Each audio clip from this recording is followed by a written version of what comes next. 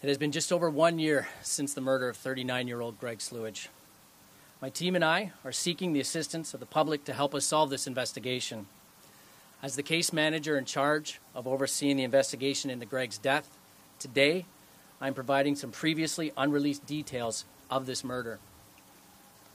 Back in 2017, Greg rented the property at 1864 Scotch Corners Road in the town of Beckwith. This property is a former meat packing facility that Greg had converted into a legal marijuana growing operation.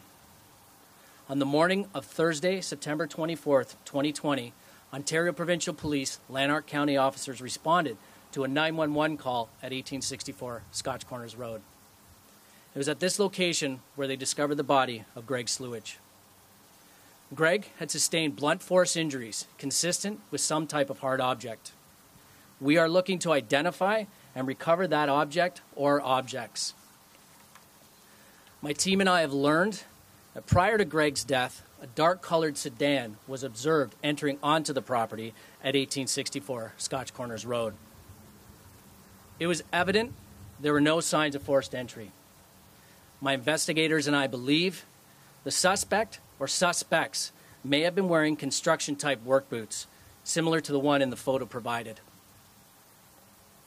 It was known that Greg was involved with outlaw motorcycle gangs. As we know, the community safety threats posed by outlaw motorcycle gangs are ongoing and throughout Ontario. We're also told Greg was a very private person with a small circle of friends. Greg was a father, a brother, and a son. Greg's family is aware and supports this multimedia approach my team and I are utilizing in an attempt to bring them resolution. Beginning tomorrow, Friday, October 15th, you will see my team of investigators seeking information about this murder, canvassing local homes and businesses within our communities with pamphlets like this. We have also created a dedicated tip line for this investigation the number for this tip line is 1 844 478 5656. Within our communities, you will see this brightly colored van with its strongly worded question of Who killed Greg Slewidge?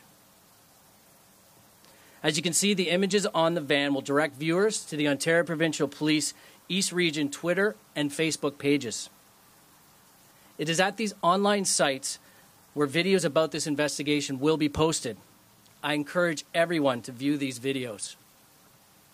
If you have any information, no matter how insignificant it may seem, please access the site and forward your tips by phone or email. Together, we will generate more information for this ongoing investigation. The Ontario Provincial Police is offering a $50,000 reward for anyone with information leading to the arrest and conviction of the person or persons responsible for Greg's murder. As the superintendent has stated, my team and I will thoroughly investigate every tip and lead that comes in. Again, to help find Greg's family resolu- find resolution, I urge you to call the dedicated tip line. Or, if you wish to remain anonymous, call Crime Stoppers at 1 800 222 8477 or visit online at crimestoppers.ca. Through this use of social media, anyone with information can access these sites from anywhere at any time. I would encourage viewers to share the links on their social media pages with their friends, family, and followers, perhaps through dedicated community or memory pages. Now, most importantly, I want to speak directly to those who are involved in committing this crime. Now is the time for you to come forward.